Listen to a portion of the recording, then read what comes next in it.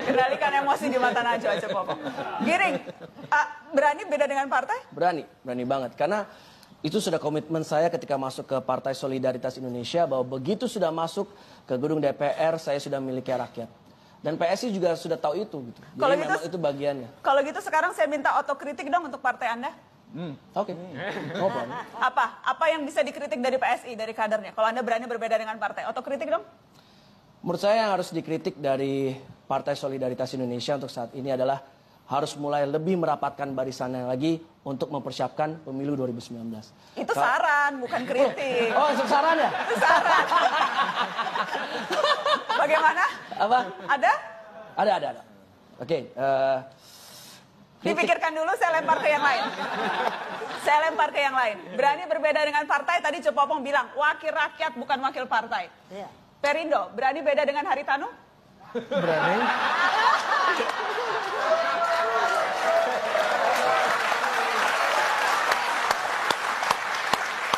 Bagaimana? Tentu yang pasti saya berani karena ada ada yang harus diketahui bahwa saya masuk Perindo bukan karena keinginan Perindo.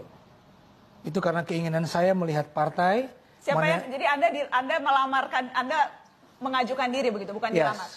Ya, jadi saya yang datang, saya menawarkan diri untuk ingin bergabung dengan Partai Perindo dengan karena saya rasa ada beberapa visi misi yang sesuai dengan saya.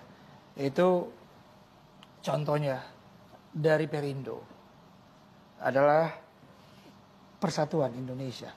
Itu yang saya kagumi. Sejauh ini kalau memang mereka tetap berjalan dengan konsep yang mereka punya, yang dari awal saya tahu saya akan sejalan dengan mereka. Apa beda Perindo dengan partai-partai yang lain? Bedanya, Karena kalau kalau persatuan juga semuanya persatuan kok. ya, Apa yang unik dari Perindo? yang unik dari Perindo.